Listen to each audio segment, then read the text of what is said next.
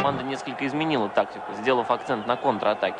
В начале матча Деннис Ирвин и Гарри Невилл создали момент Райану Гиксу, но удара в створ не получилось. Первый тайм вообще вышел почти без моментов. Манчестерцы больше думали об обороне, а Роттер лишь раз сыграл нестандартно. Корниет забрал мяч и отправился с ним к угловому флажку. Казалось, продолжения нет, но одно движение пяткой, и Нидергаус уже штрафной. Шмейхель был готов к удару в ближний угол. Перерыв раскрепостил соперников. Гикс в рамку не попадает, а комбинация Веретенникова с Нидергаусом заканчивается ошибкой Гарри Невилла.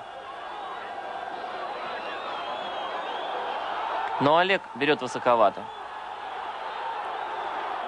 Корнеец разбегом отправляет всех в штрафную и предоставляет Олегу еще один шанс. В рекламном щите наверняка осталась вмятина.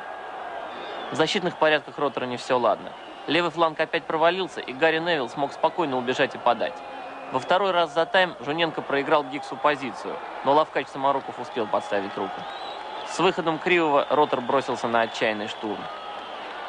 Андрей зарабатывает штрафной, но Веретенников бьет по центру. В последней атаке Кривов бросает вперед Нидергауса.